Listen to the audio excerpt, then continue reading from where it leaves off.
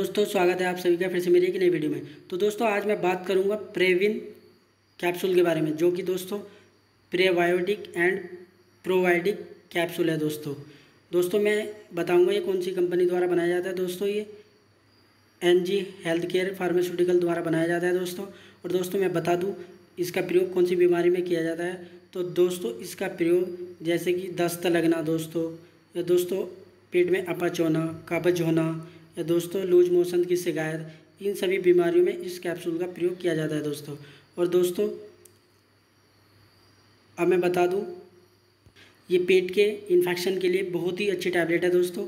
और दोस्तों, वीडियो में दी गई जानकारी आपको अच्छी लगी तो मेरे चैनल को लाइक करें सब्सक्राइब करें और बेल आइकन बटन दबाना ना भूलें दोस्तों।